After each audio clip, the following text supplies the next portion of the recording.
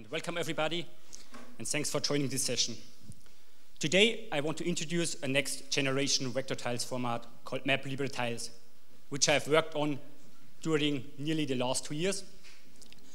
So, the MapLibre Tiles format is based on the Mapbox vector tiles format, but it's redesigned from the bottom to improve on different key issues or key topics such as a significantly smaller tile size, so better compression ratio, then faster decoding and processing performance, and also it adds new missing features like a more complex type system and also support for M values or 3D coordinates, to name just a few. Um, the format got also some momentum in the last couple of weeks because on the one hand it was integrated into the MapLibre organization and on the other hand, we could convince Microsoft, based on the uh, results of the research prototype, to thankfully donate and financially, support the integration into, or POC integration into the MapLibre GLJS map rendering library. Yeah. Come in. So, um, but first things first, let me introduce myself. My name is Markus Tremmel. And I work as a software engineer and architect at a company called Rohde & Schwarz in Germany. I also teach vector data processing at the Deggendorf Institute of Technology.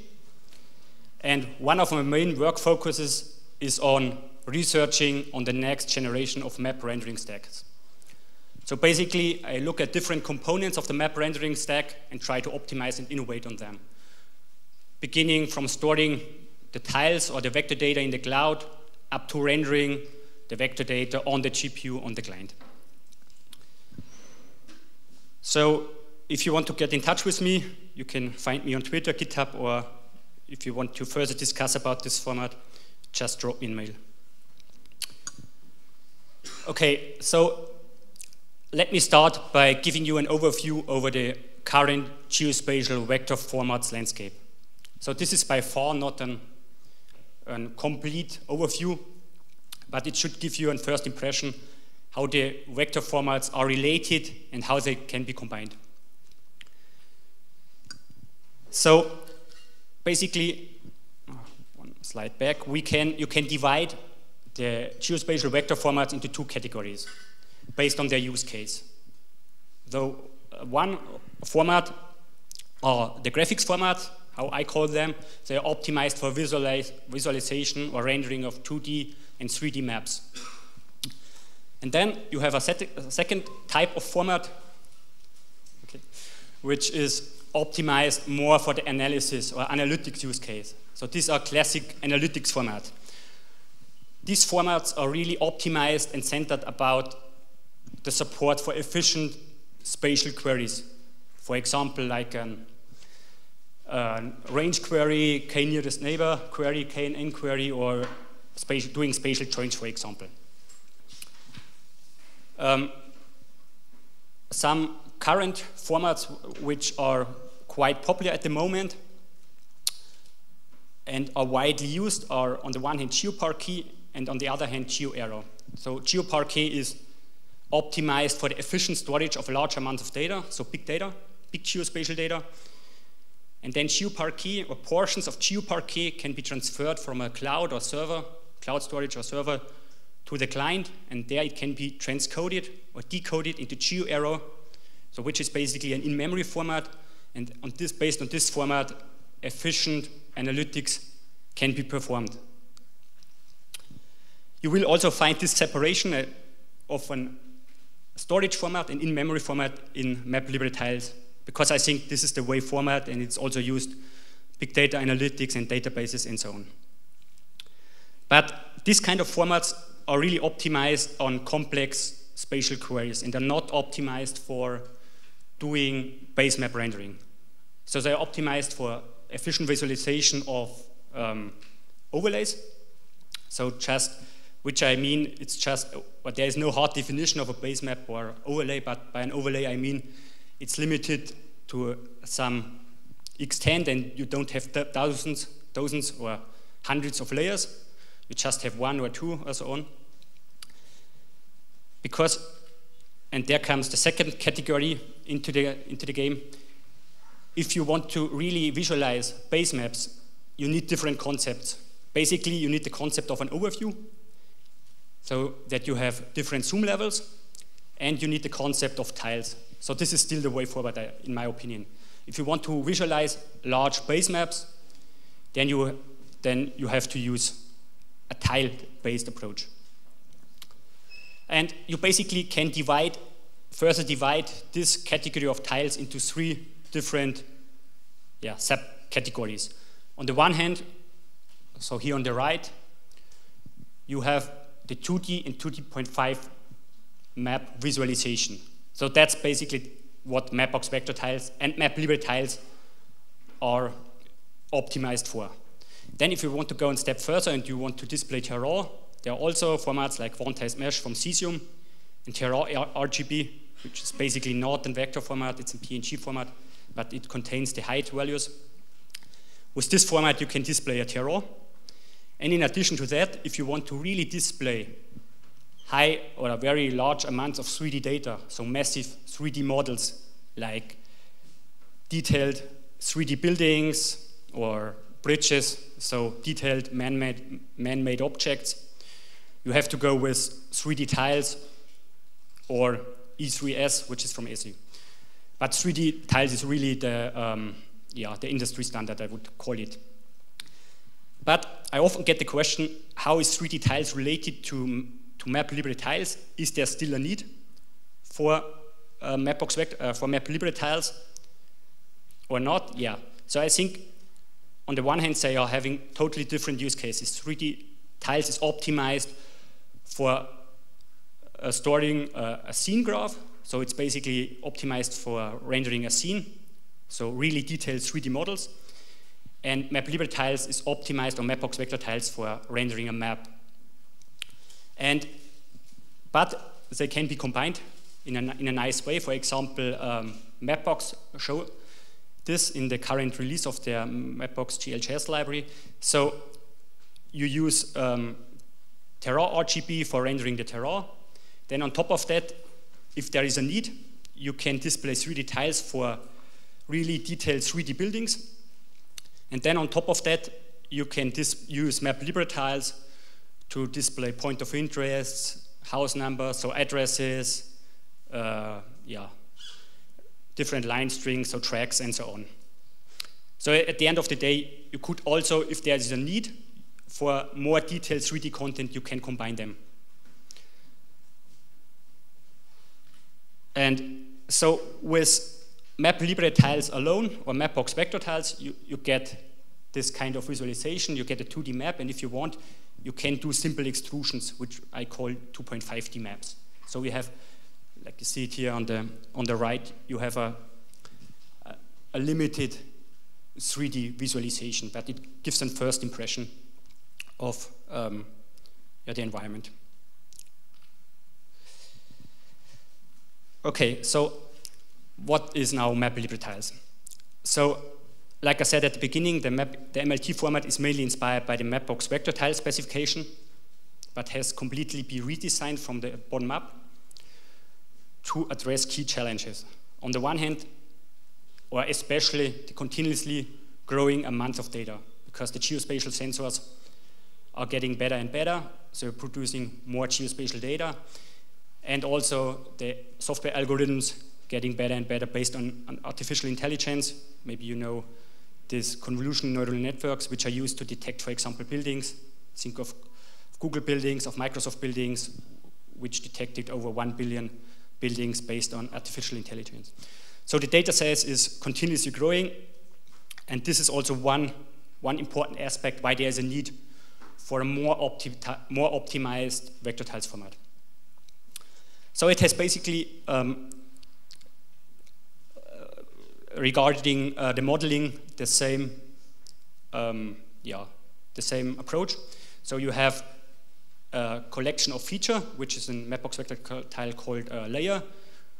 We call it currently a feature table.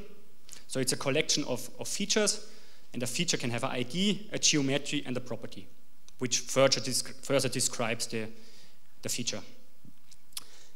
So and as with M MVT, the geometries are based on the simple feature access model and also are defined in a grid integer coordinate system. So this is some in contrast to analytics formats where you have mainly double values to have high precision coordinates. In if you optimize for rendering, you want to prune as much as possible, throw away most of the properties, and also limit the resolution of the of the geometries so that it can be fast rendered. Because based on the different zoom levels, you don't, in most cases, you don't need the highest resolution. And one thing which I mentioned at the beginning to combine a good compression ratio with um, a fast decoding and processing performance, the MapLibre tiles format is also divided into uh, in-memory and in a storage format. Okay, so now what are key features, key improvements of MapLibre tiles compared to Mapbox vector tiles? So the first three points I already mentioned. I will go into more detail later. So better compression ratio, faster decoding, and faster processing performance. So to sum it up, improve performance and uh, reduce the size of the tiles. The next three topics are, or four topics are related to missing features, which are getting more and more important because of the new source formats, or the new geospatial source formats, for example, from Overture Maps. So the, the first feature is called M values, or um, um, or linear referencing, which going mostly in the same direction. So the point with Mapbox vector tiles is you basically have a one-to-one -one mapping of a feature, like here, um, to a property, or from a geometry to a, to a property. For example, if you have a, a street, you have to have, you have to have one-to-one -one mapping feature to uh, the surface type. So feature one has concrete, feature two gravel, feature three asphalt. So and that's very inefficient. That's not nice, can be not nice modeled, and it's also in inefficient in terms of storage because you have to create a lot of overhead, a lot of features. And with MLT, you now have um, the possibility to um, model this in a more effect effective way. Like you see it here, you have just one feature, which has one geometry, for example, one, one road with 10,000 of geometries of vertices, so one line string with 10,000 of vertices, and you just store, depending on the location, you just store the property. So it significantly reduces the number of, of geometries. Uh, yeah. Then it also adds support for 3D coordinates. So Mapbox vector tiles is basically um, optimized, or is just 2D, 2D coordinates. And it also adds support for more complex type system, so including nested properties, lists, and maps. So Mapbox vector tile is basically just a, a, flat format. You can just store primitive types. This is important because um, if you go out outside and look at yeah at the yeah, at the technologies there, look at the databases, the data formats, no, NoSQL databases, JSONs, Parquet, and so on. They all have nested sorry, nested um, capabilities to store complex types. And this is also important if you look at the right, because Overture Maps, I think, which is getting one of the most important data sources in the future, um, has the support for complex nested properties. Okay, so how does this format now look like? So I will start with the storage format. Like I said, it's divided to be more efficient in a storage and in, into an in-memory format. So the main difference to Mapbox vector tiles is that now it is used a column-oriented layout compared to this record-oriented or row-oriented layout used by Mapbox vector tiles. Like you can see it here on the, on the bottom. For example, you have ID column, it's called ID field, you have a geometric column, and you have multiple property columns. So it's stored in a column-oriented way, and this has the advantage. It offers a better compression ratio, and also, in most parts, it can be faster um, processed because you can, it has better, better cache locality, so less cache, cache misses, and also um, allows the usage of single instruction multiple data feature. So which is basically called SIMD or vectorization. I think this is a very important feature which is currently missing in the map, can't, which can't be used currently in JavaScript, but it, which can't be used in WebAssembly. Because with SIMD now I can, for example, um, process four integers at a time. So you get significantly uh, improved processing performance, which also is shown in the current prototypes I have implemented. So and then on top of these columns, to reach this good compression ratio, um, uh, lightweight, recursive, SIMD-friendly encodings are used. And then also, like you can see it here, a column is subdivided into, into streams to further um, give information about the data. So I will skip over a little bit faster because the time is running out a little bit. So then we have the in-memory format, which is, okay, I have five minutes, so I will go a little bit faster. So the in-memory format, in-memory format is basically inspired, like I said, from the in-memory formats like Apache Arrow, DuckDB execution format, or Velox, um, the Meta uh, from Meta, so basically Facebook, and it's really optimized for doing fast processing um, and also support fast rendering on the client. This is done based on vectors, and you can also use compressed vectors, which make it more efficient for the decoding and for the processing. So then I just want to, we'll go faster over some topics which are very important about map rendering bottlenecks, um, because how a new vector tiles format can support map renderer to show a significantly faster rendering performance. So in this example, I use MapLibGL.js and I profile the MapLibGL.js worker. So the first innovation, or the first thing we are adding to vector tiles is so-called a pre-tessellation. Because think about um, the geometries which are transferred to the GPU. They, they basically have to be tessellated or triangulated, which means they have to be, it has to be triangles. So the, the polygon has to be split up in triangles. That's what the graphic card effectively can, effectively can process. And what we are doing now is we store the pre-tessellated um, geometries in the tile. So there's the advantages, there's basically less overhead on the client side or nearly no overhead on the client side to bring it into triangles for polygons which make it much more efficient. So the next thing with lines, lines are harder.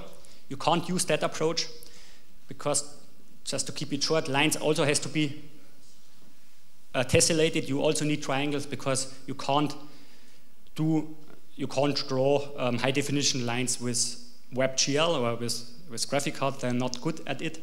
So you have to also tessellate it. But the point is, this is a harder problem because of the styles, because, because based on the styles you can change uh, the layout or the structure of the geometry. But Web GPU compute shader are coming, and I think these are, this is really promising. This is, will be a game changer. I already did some prototypes going to this direction, because now you can do the tessellation on, in the future you will, you will do the tessellation on the compute shader, and this solves some of these bottlenecks. Okay, so I skip over a little bit faster. So there are also some additional advantages regarding tile processing performance. Um, for example, you don't materialize strings, which is an extremely hard bottleneck in MapLibGL.js. You just use the UTF-8 buffer and the compressed vectors. And you also, based on the column-oriented layout, compared to the row-oriented layout, which is used by Mapbox vector tiles, or in these libraries which are processing Mapbox vector, vector tiles, you are creating much less objects. And yeah, this creates less pressure on the garbage collector. Okay, just a few words on the, on the, on the current status to close this presentation. So what's the status? We currently have a first initial draft of the spec you can look at it at GitHub and can discuss with, discuss with, that, uh, with us how to, to further proceed with it.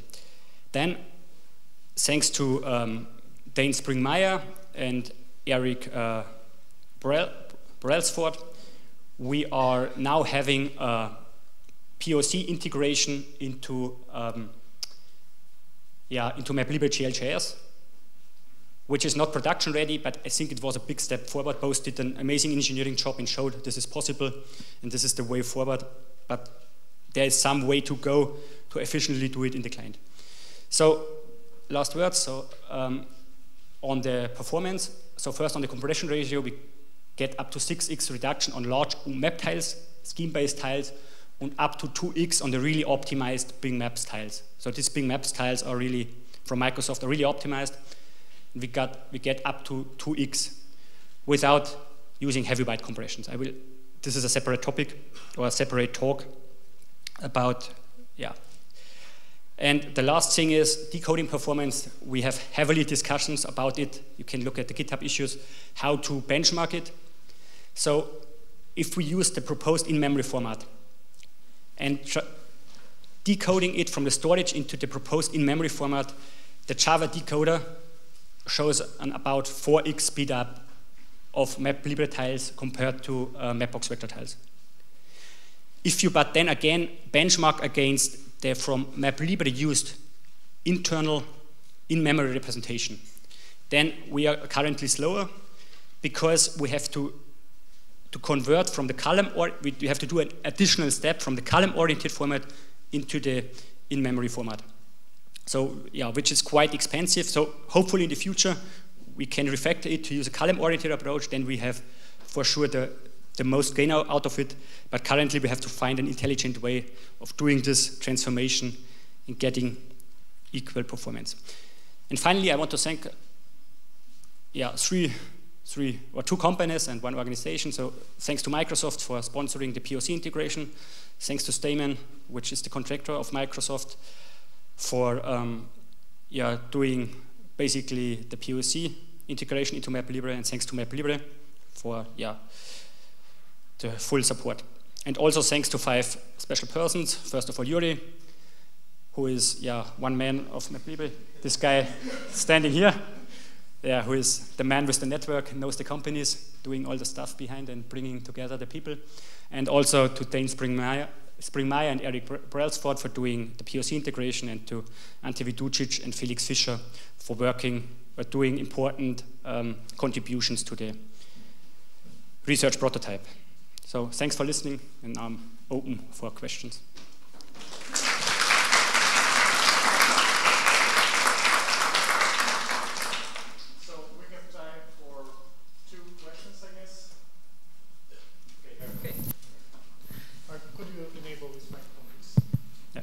So what tools are there to encode MLT tiles, and specifically, is there a GDAL driver?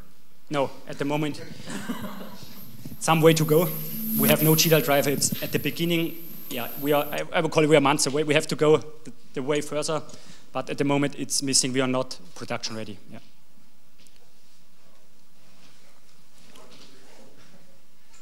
Uh, hi, can you uh, share a little bit more about uh, columnar storage? And in particular, I was wondering what this SM and FM meant. Or yeah. Okay. Yeah. So, so the main idea is in in Mapbox vector tiles you store feature by feature in a row-oriented, record-oriented way. You first a feature is modeled by ID, so you have the ID of the first feature, then you have the geometry of the first feature, and then the properties of, of the first feature and then with the second feature. This is in contrast to this column-oriented lay layout where you have all IDs of the features, so feature 1 to feature 10,000 for example, then all geometries, uh, the next in memory, and then property 1 is in memory, and then property 2 1 or is in storage in, in the layout is next. So, and then it's important to subdivide these columns into so-called streams. This is some naming from from the ORC format because you need some additional information to, to store it in a sparse way. For example, if you have a nullable field, like say the ID column is nullable and not all IDs are present, then you just want to store the IDs. You don't want to store uh, the, the null values.